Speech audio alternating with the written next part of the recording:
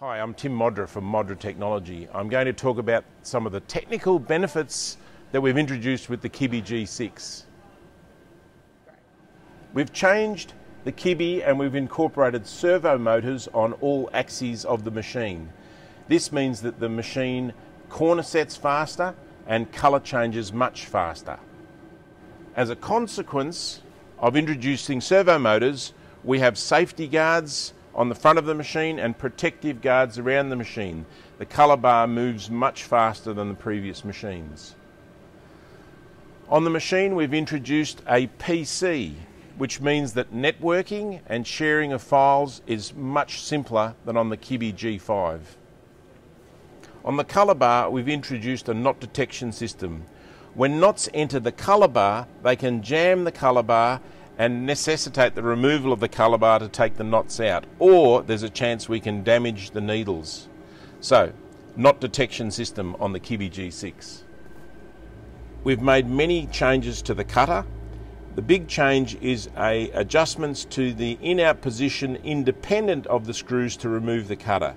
That means you can take the cutter off, make adjustments and maintenance, put the cutter back on, it will be in the same position.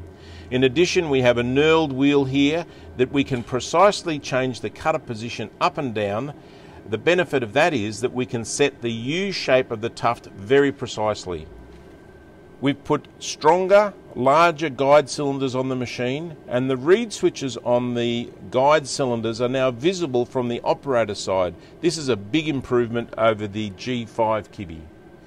We've made changes to the needle. The needle is now a manufactured item. The benefits of this are that the replacement of the needle is easier and more consistent and the needle is more durable.